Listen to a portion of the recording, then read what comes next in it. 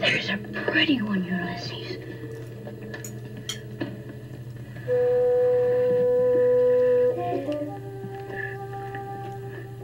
There it is. Hello, BookTube. I'm Shawn the Book Maniac. Welcome back to my channel. Here I am with another pseudo alfresco buddy reads. Well, as will soon be apparent, I had buddy reads on the brain, but but this is not a pseudo alfresco buddy reads. This is a pseudo alfresco Friday reads. As if I needed to spell that out. Uh, just the sheer volume of books I would have had to carry to go further farther afield. So here I am on the balcony, and I kind of like the way this gray, otherwise kind of unremarkable gray, shows up on the video as a backdrop with a blouse I don't think you've seen before. Just another ten dollar jobby, but I think I think I like it.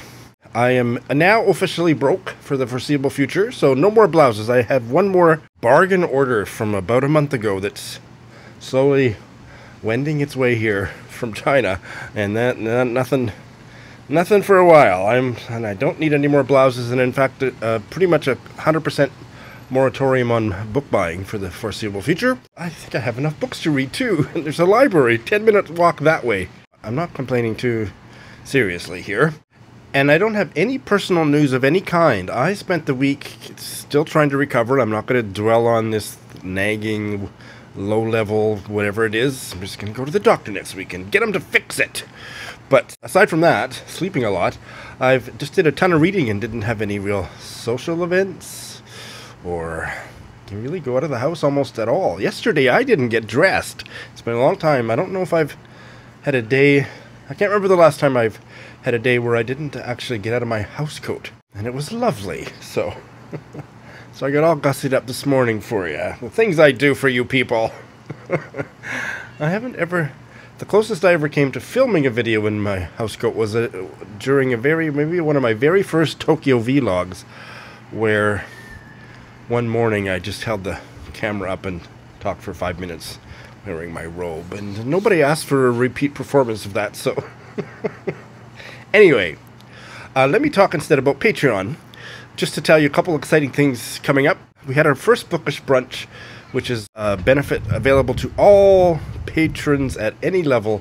Once a month, we just have a Zoom chat talking about recent reading and whatever else we feel like talking about. The first one was a smashing success. The second one is coming up in about uh, I'm not sure. I think it's two weeks from tomorrow, maybe. So that's really fun. And then for the uh, mid and upper tier patrons, that's the uh, what are the, Story Seeker and Bibliophile Bestie tiers. Our first read along is going to be happening right at the end of this month, September, and that is Andrey Kurkov's Gray Bees. So if you want to join in on any of that, please come and have a have a gander at my Patreon.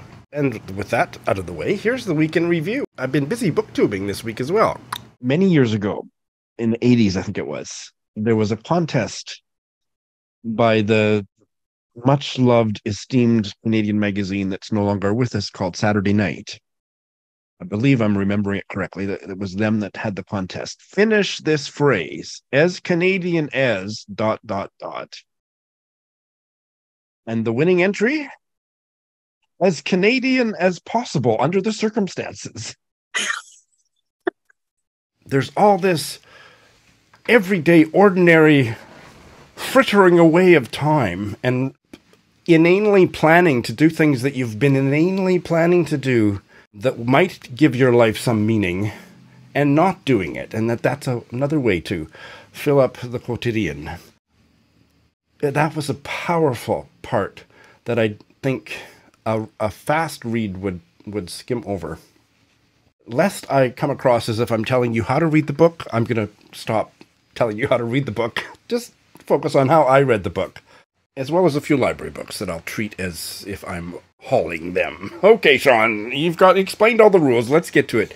I don't remember the specifics of what tweet I saw, but here is a novel from an indie press, Confingo Publishing, I saw a tweet about it. I ordered it, came in the mail, and it's actually signed by the author. It is called The Unheard by Anne Worthington. Thank you so much for.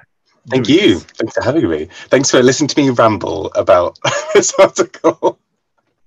Oh, I, I wasn't really listening. I was checking my phone. So. Now, what have I got to tell you? I got a lot to tell you. Um, for the first time in several weeks, I have a bail to tell you about. I'm surprised I haven't been bailing. So, so uh, kind of making up for lost time today, although I only have one bail to tell you about, and then I have, I think, four books that I'm putting on hold. I'll explain the difference between those two when I get to that part. And I think I finished three. I may amend that number as I go because, you know, math is not my strong suit, but let's, let's get started. This is probably going to come as a shock to some of you. I bailed on the World and All That It Holds by Aleksandar Hemon, which is a 2023 novel and a booktube darling. Lots of people whose tastes often overlap with mine worship this birth, worship this birth, worship this book, and I didn't really get along with it. It started out really good, but I found there was something affected and overly stylized. Mm, I, uh, it's been so long since I picked it up. I decided to bail after setting it down for a month, so I my memory is even poor. I know I feel fully justified in bailing, with a proviso. um, well, I'll tell you what the proviso is. Because everybody uh, and their dog loved it, I'm going to try it in five or ten years, but it's going to be a bail until then. But I found there was way too many folk tales, not enough character development, and it was too lyrical. And I mean, I often, I would say usually, love lyrical writing slipping out of its dress there. But not not in this case. It started to grate on me. So, and I just didn't feel even after getting well, I can't remember how far I got. At least 100 pages, maybe around 100 pages, that I wasn't really getting to know the characters. I was just getting to know a lot of folk tales and really ornate sentences. And again, uh, if I had bailed on it immediately upon putting it down, probably I'd have fresher things to say about why I bailed, but that's my memory of why I didn't pick it up for a month and now it's on the bail pile, but I will try it again. In five years, I'll be 32, so in my 32nd year is probably the earliest that I'll try it. So that's my bail. What's the difference between a bail and uh, uh, putting a book on hold? I created a on hold folder on Goodreads uh, several years ago for books that just uh, I knew that I wanted to read, but just not right now and oftentimes it was because they didn't lend themselves to being read alongside a dozen or more other books, but that they were interesting. Just I just couldn't, for whatever reason, couldn't focus it. And with the kind of, you know, I'm now into reading around 40 books at a time. It's ridiculous, and I love it. It ain't gonna change, except that it'll probably the number will probably go up. Inevitably, one or two books a year fall through the cracks when I'm reading that many books. You know, juggling that many books that you oh, know it's been oh months since I picked it up and I can't remember anything about it and I know I'd have to start over again. And so here are a few that are like that. This was from Person February or Person March or People April, I believe it was. An Indigenous Canadian novel, Tomson Highway's The Kiss of the Fur Queen. I think I got about 12 pages in. Liked what I read. Never had time to get back to it. Can't remember anything about what I read. This one is a little bit sadder for me because I connected so deeply with the first novel I read by this writer, but I am putting aside Elizabeth Berridge's Sing Me Who You Are. Love the cover. I got about 70 pages in, and I, again, I think there was like weeks long gaps in between when I'd pick it up, and so I was having trouble keeping the characters straight, and I didn't find that I was enjoying it as much as what was the one that I loved. No, I can't remember that title of that. Here's the GIF. I didn't love this one as much, at least not reading it as episodically as I had been, and now it's been four months since I picked it up. I can't remember a whole lot about it. I definitely want to give it another try. I'm expecting Elizabeth Berridge to be on that not quite top tier of favorite writers, but just one below, and so I want to keep reading her stuff. This has just recently been reissued by the British Women's Library in a nice, attractive new edition, but I'm glad I have this one with this cover. On hold, not a bail. And this gay Maori novel, Witi Ihimaera's uh, The Uncle Story. I didn't get very far in this. In fact, I lost my bookmark, but I got maybe about 60 or 75 pages in. Was quite enjoying it. Just never got back to it. It just fell through the cracks, just fell off the edges. I will definitely pick it up again. It took me this long to finally try it, and I liked it, and it's still going back on the pile to be picked up at another time. It was about a gay Maori guy and his white lover breaking up in the first chapter. Just after, to prove his love for his white boyfriend, the Maori gay guy comes out to his family. And that's as far as I got, and it was really good. But, you know, some books just don't stick because other books stick more, and this doesn't happen very often to me. I mean, I've got a whole bunch at once because I haven't done this in a long time, but nothing bad to say about it. Looking forward to getting back to it. Maybe as soon as, I don't know if uh, there's going to be a Skoden or an Indigenous readathon. Th- th- this one and the Tomson Highway I might pick up then or some some point. And the big one that I was reluctant to put on hold because even though I haven't picked it up in 2023, I think about it because I can see it on the shelf and it's beckoning to me and I can I know that I would be able to step back into it and carry on where I left late last year, but it's just taken up a space on my current reads that you know I've got new books I want to try. So I will come back to it. I'm looking. For, it'll be the first one of any of these that I come back to. I th- I'm quite sure. The Croatian novel Kin by Miljenko Jergović, translated from the Croatian by Russell Scott Valentino. I read half of this last year. Really enjoyed it. It's really quite a reading challenge and I decided to put it down, not because I wasn't enjoying it, but just I thought, okay, I'll pick it up at some point, and now it's September, and I haven't picked it up this year. So I know I'll pick it up again, and I think it's going to be the one I pick up the soonest, because this one I'm not going to have to do any rereading. I mean, I might have to do some page back, paging back. I have it in ebook format for searching, which helps, but I loved it. I have not, uh, it, it's maybe it's maybe a bit too long. I don't think it is a bit too long, but I did need to take a break, and now it's on hold for that reason. So, on to what I finished.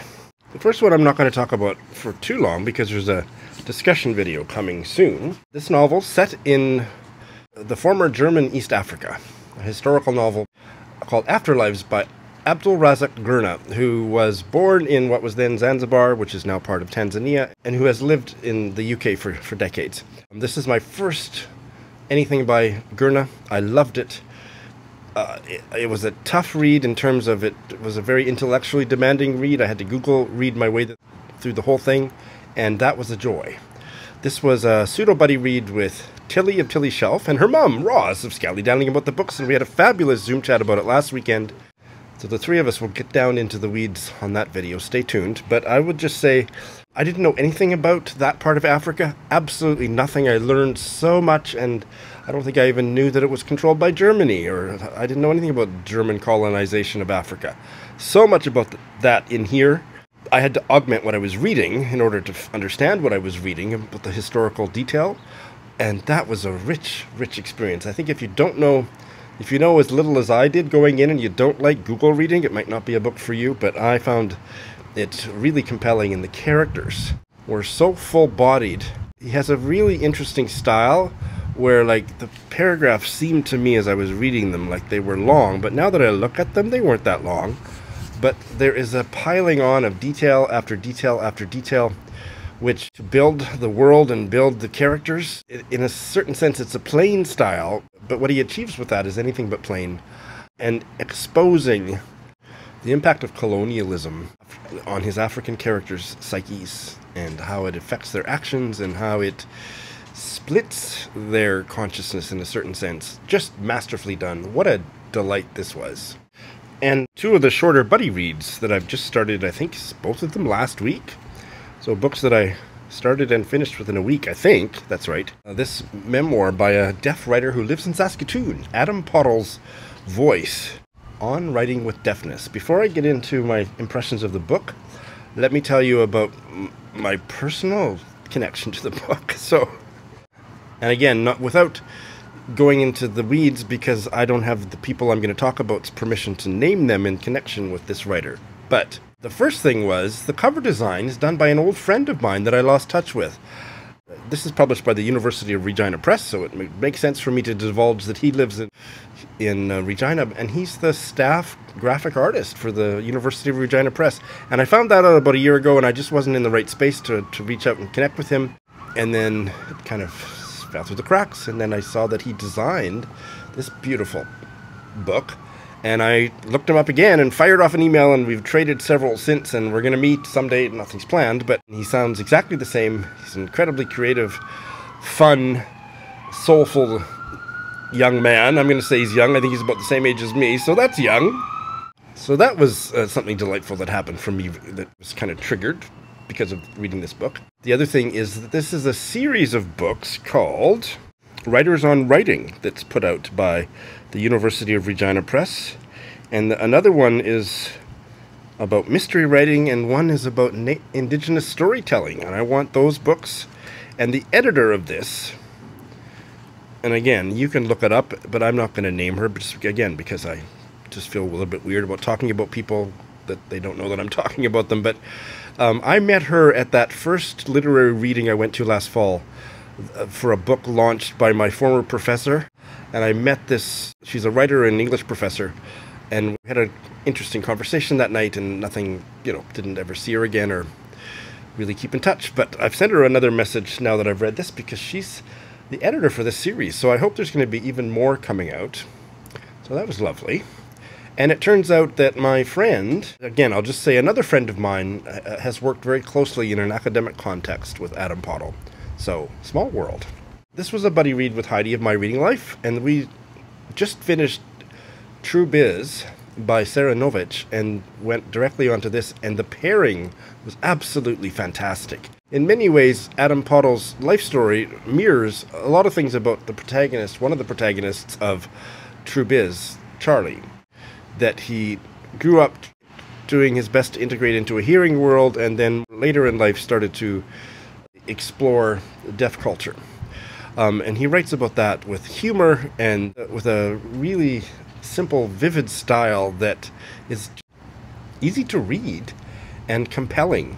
So he writes about challenges during his childhood and his secondary education and so on, the difficulty of making friends and being bullied at schools because he was partially deaf and tracing the development of the technology that helped in the classroom for example i'd never heard of this but the teachers would strap on a a lapel mic and he would ha- have headphones and he was able to hear them a lot better but there was one embarrassing incident where the teacher went took a bathroom break and didn't forgot to take the mic off there were times when i think quite self with with quite a bit of self awareness. He revealed his kind of cocky, maybe arrogant is too strong of a word, but was just edges to his personality that he didn't hold back from sharing, and I appreciated that. And then in the very next chapter, showing how as a teenager he got involved with volunteering with um, people with brain injury. His mom was involved in that in that volunteer work, and and he helped her out at least for a short time and the way he writes about that it's like oh there's so many facets to this guy. He's a really interesting fellow. I'm really looking forward to reading more of his stuff. One of his novellas is about a bunch of different disabled characters in nazi germany and portraits of their life as they're being taken on the bus to the crematorium, and that sounds really powerful. I've actually ordered a copy because it was eight dollars Canadian on Amazon. It's going to be in the mail here pretty pretty quick, so that'll be the next thing I read by him. He writes about how being deaf has shaped his creativity, has shaped his writing, and there's some literary criticism in here. Not all of that writing that was more of a kind of academic style worked for me, but most of it was absolutely fascinating. And this short little memoir, and then ending with a bit of activism that he almost kind of inadvertently uh, made happen in Saskatoon for a local literary festival, just about brought tears to my eyes. It was so beautifully written and powerful, and you know, I've done those kinds of activist things in my very distant past in the gay community, so maybe I connected with it for that. But he's just an utterly fascinating and very talented writer, and I want to. I'll be following his career from now on recommend this very highly. I know Heidi was able to get it in the States pretty easily, so I, I think it should be easy for you to find. Voice on Writing with Deafness by Adam Pottle. Loved it! And the last one I finished late last night. This Edna O'Brien novel, A Pagan Place from 1970. Buddy read with Sonia of An Enthusiastic Reader, 1970.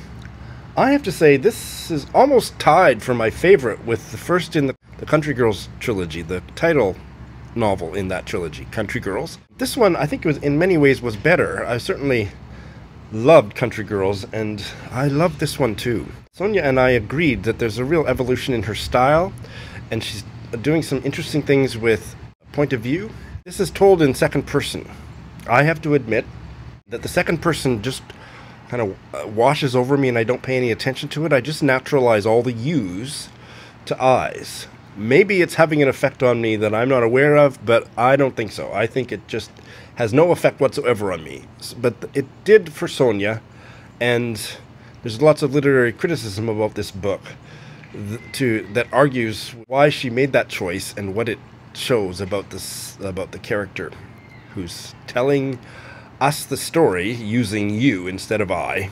That part didn't do anything for me, but that didn't matter. It didn't detract from the second person never detracts from my reading. I just don't care about it. The first half of the book, and Sonia really gifted me with this insight. The first half is kind of plotless. It's just a almost a stream of consciousness about childhood, and in the second half, there's much more of a story, and the story is one of deep misogyny in the way that both the protagonist, who I think is only a preteen, she might be 14 or 15 by the end of the story, her older sister comes home from, I think, Dublin, where I think she's working and and she's pregnant. And then all hell breaks loose. The way the parents react is horrific but also nuanced.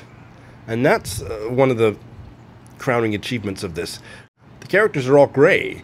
The parents they they were so implicated in the horrific religious misogyny that has fucked up Ireland for millennia. Not only Ireland, let's be clear, that they just victimize their daughters. And then later there's an incident with the protagonist that is just horrible to read about.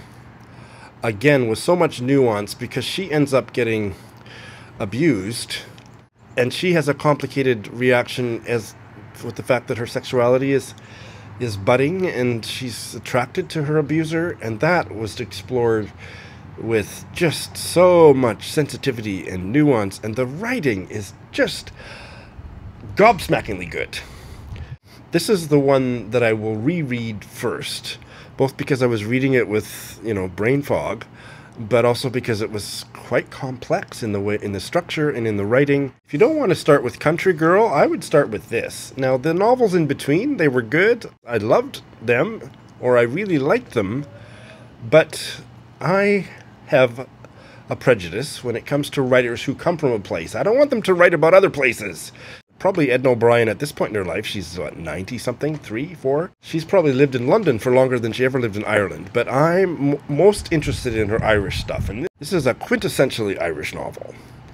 Loved it, loved it, loved it. Oh, and don't read. I don't know what's on the Goodreads synopsis, but the synopsis on the back here, I won't read it out because it's a spoiler and it's it's going to shape the way you read it and it's going to confuse you because the, the the stuff it talks about in the first sentence of the synopsis, you don't really find out until the last 5 pages. So what a stupid I just think there should be no synopses on the back of books. None. Just two or three words. How's that for a controversial opinion? Ban all synopses. You don't need them, they just screw you up. And I never read them either, but I made the mistake of reading this, and it did really kind of throw a bit of a monkey wrench into the way that I read the book. So don't read synopses at all, people, but certainly don't read this one. Do read A Pagan Place by Edna O'Brien. It's one of her very best. Alright, so that's what I finished. I'm going to start three. Two of them are for Shorty September, one of them is for Straya September but I'm probably get, not going to get make very much progress because I have some books that are 300 plus pages that I'm doing pseudo buddy reads. I think two plus one that's got to go back to the library by Wednesday of next week. So I'm not going to be. I think three. I think three that I've promised for various points in September, plus the Gray Bees for the end of September, plus a library book that's got to go back this Wednesday. So I don't know how much I'm going to dip into these, but I'm still excited to start them. So. And if that wasn't confusing enough, after I finished recording the video, I realized I'd left out one of the more important books I'm planning to start in the coming week Pearl by Siân Hughes. It's on the Booker long list. I'm buddy reading it, pseudo buddy reading it, with Alex Kerner.